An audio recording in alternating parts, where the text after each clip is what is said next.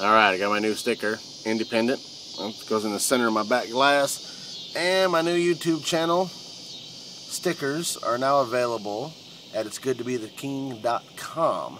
The website, this one right here, go ahead and write that down. This website, you can go to it and you can order stickers. You can buy their stickers that they already have.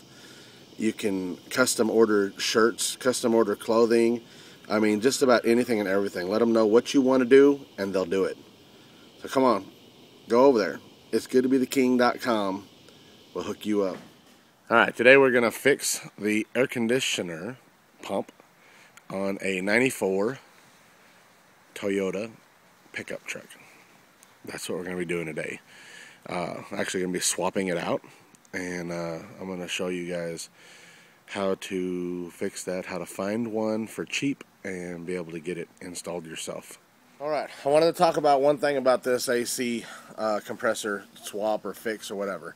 Um, with the way the economy is and the way everybody is going right now, you're trying to do everything for as cheap as you can. So I found a solution for all of you that have an a an 86 to 95, 94ish uh, Toyota pickup truck. The uh, AC compressor runs about $275, maybe 200 if you can find it. Uh, used ones are about 150.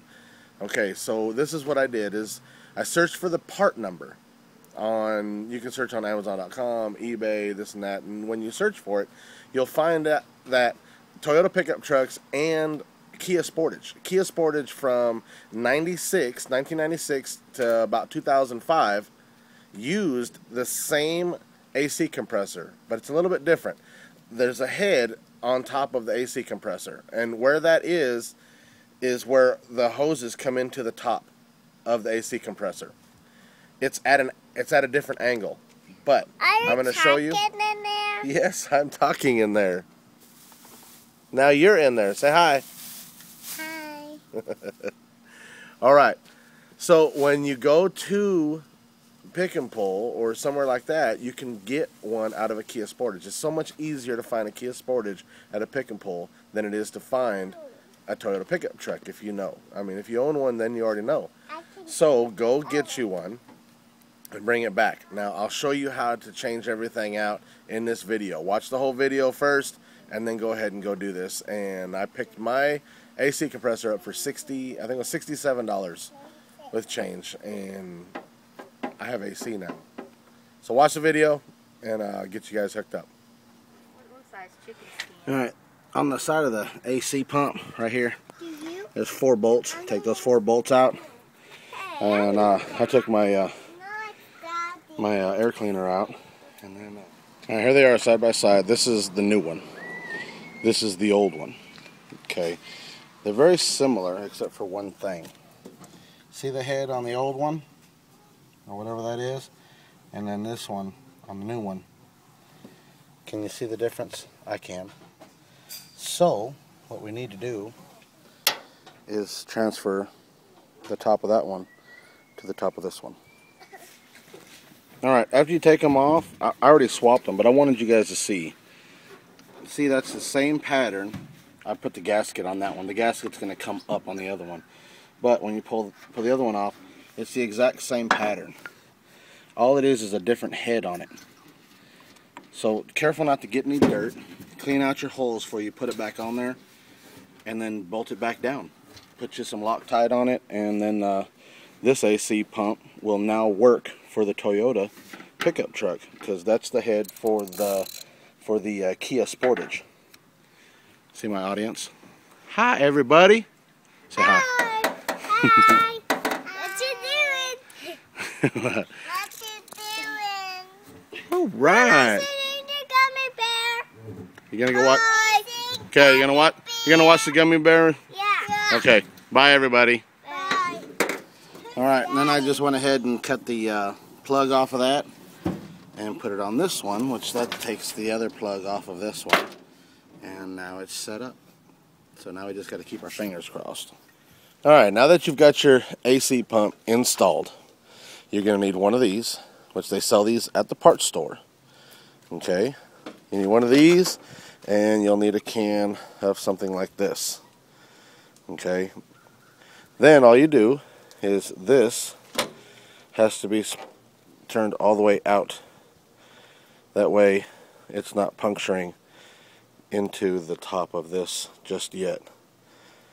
So you make sure that that's all the way out. Because see, there's a little needle in the middle right there. So spin that all the way out. Now that the needle, see how it's not sticking out anymore, is not sticking out, then you can go ahead and screw it onto this. After it's screwed onto that, see, nice and tight and everything, then you can go ahead and screw this all the way back down. That way it goes ahead and punctures it and seals it all at the same time. Now that it's screwed all the way down, now you're ready. Okay, you take the other end, and the other end goes to the low side. Now there's a high side and a low side, which right there. The low side is going to be a smaller plug, which the smaller plug will allow this to slide onto it. It works just like a quick connect fitting or an airline fitting. And all you do is you take this, you pull this back, push it on, and release. That way it locks it into place. Now, depending on what the temperature is outside, you've got a range selector right here, okay? Now, you've got, if you look right there in the center, you'll see temperatures. Let's see if we can focus. Okay, temperatures. That's what the outside temperature should be. So if you're like 100 degrees, then you're going to be wanting to get your pressure right in this area here above the 85. It's better to try and do it when it's this temperature outside, but we all know it's been really hot. Now you're going to want to, you, if you want to, you can adjust that. You can turn the outside dial to where the range that you need to be in. With the motor running, turn your AC on, put everything on high, the fan on high, with that plugged in. Okay? Then you're going to turn this dial out. When you turn this dial out, the whole thing, to release the freon that's inside there, you're going to notice the needle is going to jump a little bit. Okay? Once the needle jumps and it's like all over the place like that, then screw it back down to close it off. If you close, don't close it off all the way you want to leave it so it can just barely trickle out so that you can regulate that needle. When that needle's in one spot and it's not moving very much, then you're doing good. Okay, now you can release a little bit more, put a little bit less, a little bit more, but you don't want to go out of the green. I don't know if you guys can see the colors there. Okay, because see you've got blue, red, and blue, green, and red you want to get it almost to the top of that green without going over. You want to be right in that area, okay, and not over. Once you get it to there, if it starts to go up a little bit higher, then just turn this off and then see where the pressure stays.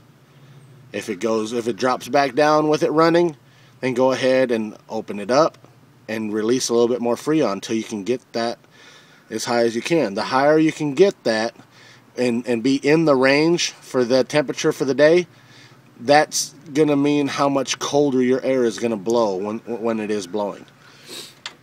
If you swapped it out like I did, I would recommend getting a, uh, if, uh, hang on, let me see. Yeah, I'm hot. It's really hot today. Uh, if, if, uh, you changed out the uh, AC compressor like I did. What you want to do is you want to get an all-in-one. An all-in-one has oil. It's got seal uh, uh, fixer up or whatever, and, and it's got the Freon, and it's I mean it's it's an all-in-one can that will help to condition your whole thing. Okay, so that's it. Uh, go out and make some cold AC. Thank you for watching. Uh, please subscribe at the top if you haven't subscribed. Please comment at the bottom if you haven't. One more thing I want you guys to understand. Uh, some of you guys are new to here. Um, I'm not a certified mechanic. I'm not certified in anything. I'm just a guy that works underneath a tree at his house that wants to get stuff done and get stuff fixed. When I fix something, I share it with you guys because it worked for me, and then that way you guys can go out and do it please don't hold me responsible for anything. If you guys have doubts about anything that you're going to do or anything that you are wanting to do, then have a, a, certified mechanic do it or have somebody that knows what they're doing to go out and do this stuff. I do this stuff at my own risk. So if you follow me, then you're doing it at your own risk too. And I just want to make that clear because, you know, I know some of you are going to be like, he doesn't know what he's saying. He doesn't know what he's talking about. He doesn't know the words. And uh, no, I don't. I don't know the words. I'm just doing this so I can save money because I don't have a whole lot a whole lot of money to be able to spend on everything. So I just sorry I had to say that. See you guys next time.